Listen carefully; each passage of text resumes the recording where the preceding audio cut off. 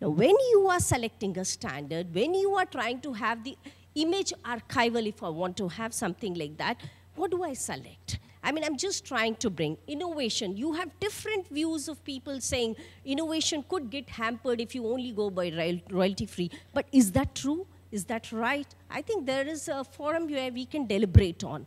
We've also seen how to handle RAND issues where RAND is the only choice. Yes, there are areas where you have to go in for RAND, but then how do you handle those patents? How do you handle if there is? Is it all? Okay. Then there is another area on the market maturity. The standard is available. You have the open standard, but you don't have the products there. How do you handle? If I actually, give, how will you handle the migration path which is going to happen? Because if I say, okay, I'll, I announce it in next one year when the product is there, but then how do you handle the migration to it?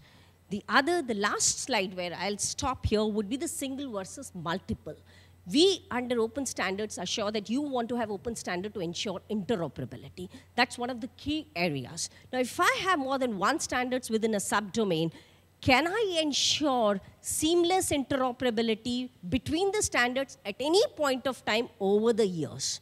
And how does, what happens if I actually have multiple standards which are to be supported within the implementations and the cost effectiveness?